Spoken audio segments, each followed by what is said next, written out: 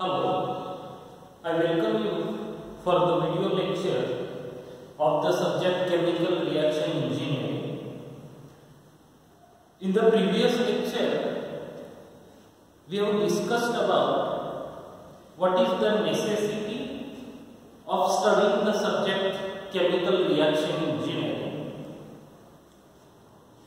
During the discussion, it was told to you that the basic objective of this study uh, subject chemical reaction engineering is to study the kinetics of the reaction and to determine rate law expression and use the data obtained for the design of chemical reactor.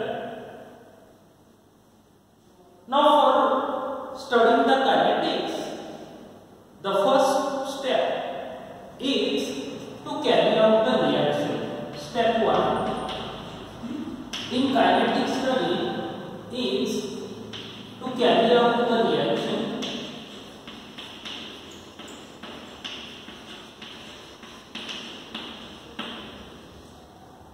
Now, I hope you are able to remember our previous discussion that for carrying out any reaction, we require certain reactor. So the most popular reactor which is used almost for all kinetic study is batch reactor. The reason being batch reactor is a multi-purpose reactor. You can equip it with necessary utilities and the varieties of the reaction can be carried out in a batch reactor. Just to clarify the importance of batch reactor, let us consider the example of fine chemical industries or API manufacturing industries. They the number of products list with them which can be manufactured in their premises. I mean they just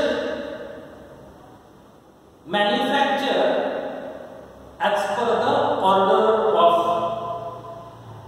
their vendors or I can say that they are into custom synthesis. So I am aware of some industry who have the recipe of various chemicals available with them. Many, many chemicals can be manufactured using the same facility. So in that case, the batch reactor provides the very important advantage. The multiple reactions, one after another, can be carried out in a batch reactor.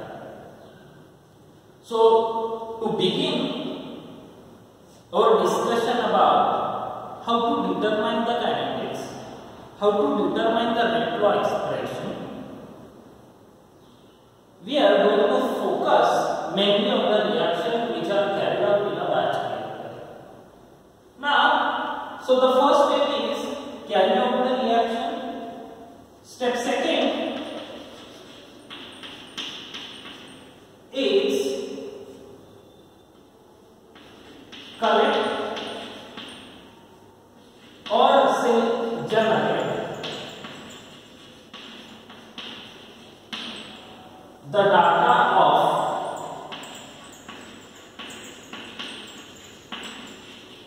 concentration of reactant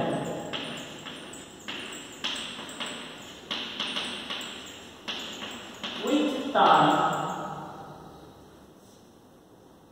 and step 3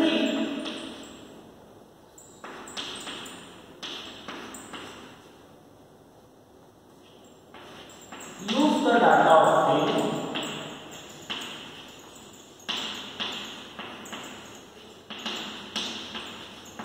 for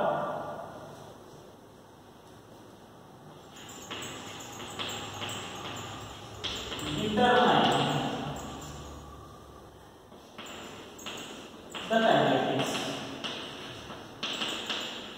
or reflex equation.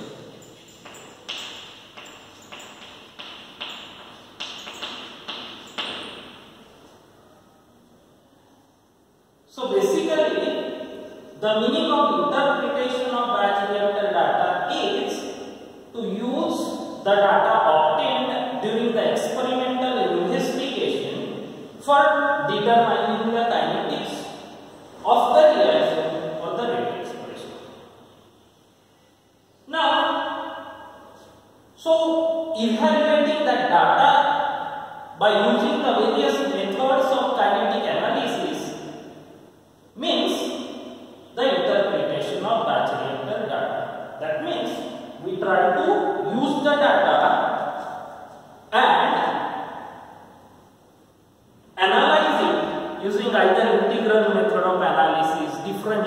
of analysis, various methods of kinetic study for determination of rate, rate expression.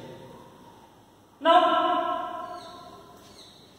in order to reach up to stage 3 or step 3, it is necessary to follow the parameter which is changing during the reaction. Now suppose if we carry out certain liquid liquid phase reaction for liquid phase reaction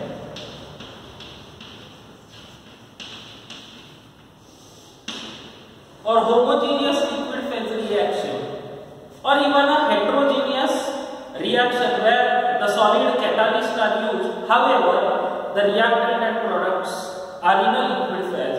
In that case, the parameter which can be evaluated or whose variation can be evaluated with respect to time may be concentration.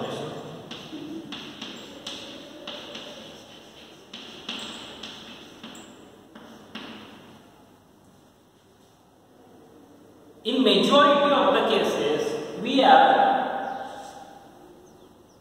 evaluating the concentration of reactant with respect to time. So as the reaction progresses, the concentration of reactant falls, whereas concentration of product increases. However, there is no any fixed rule that we should always evaluate the concentration. Rather, I can say that we should keep the track of the parameter which is changing due to the reaction. So that parameter could be anything. It could be either optical density, it could be refractive index,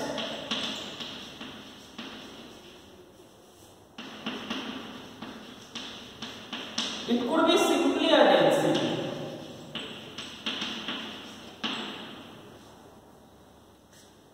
So, whichever parameter is related with the variation in concentration of reactant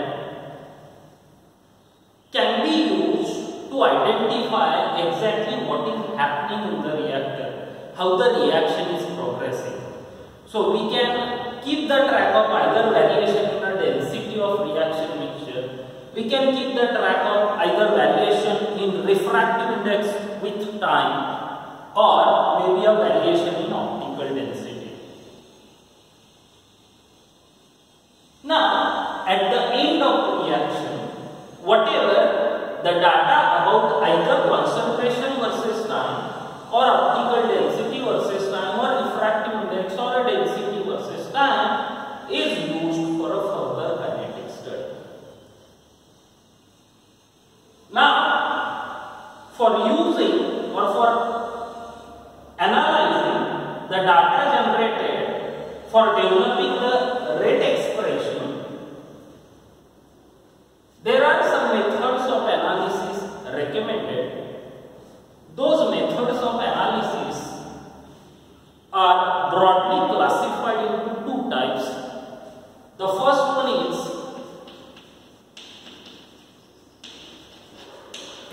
of analysis.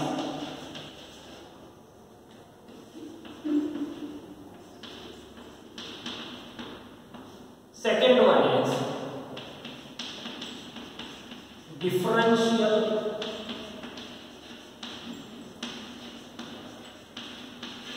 method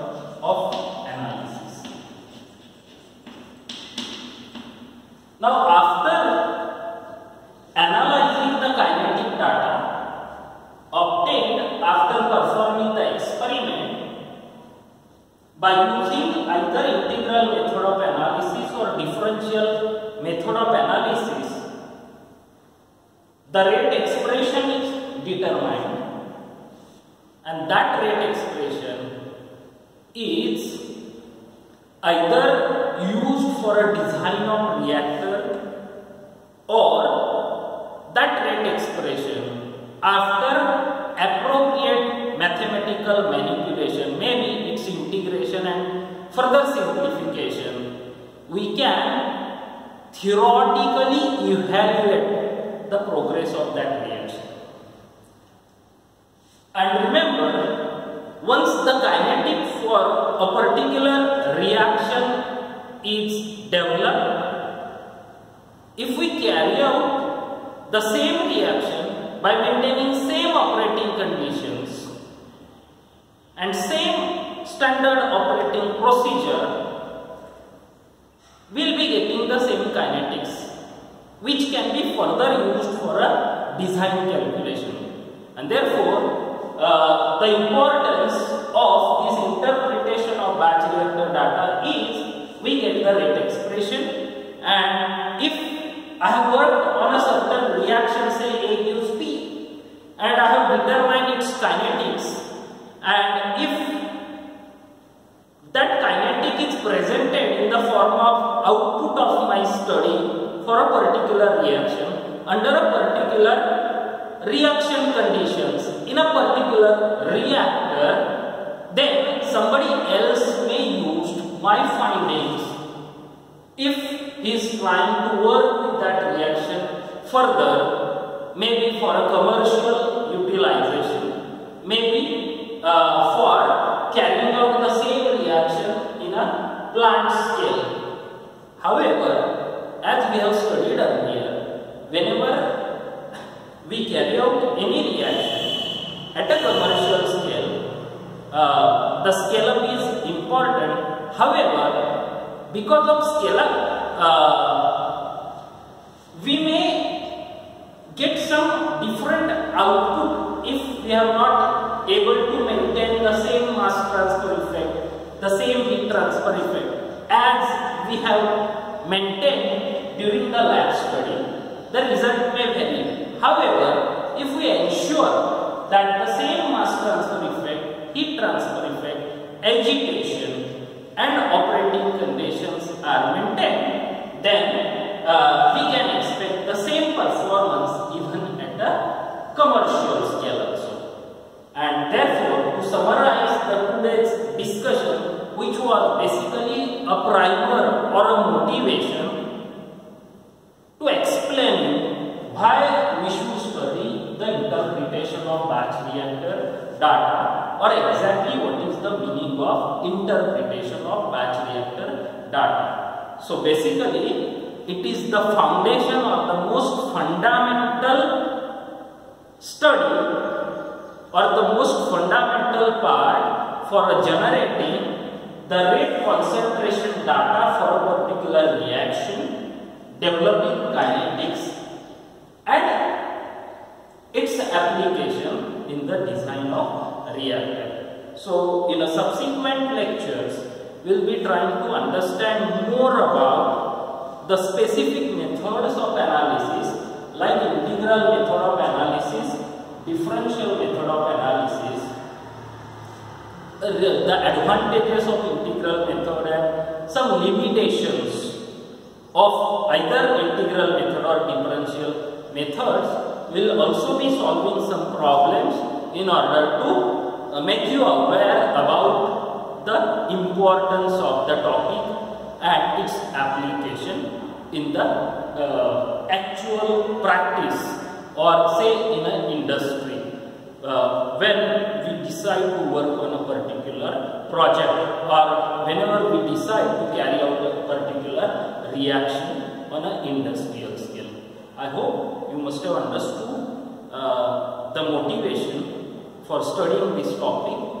Some insights about exactly what batch reactor data interpretation means and what is the basic protocol uh, in the kinetic study. Thank you. Thank you very much.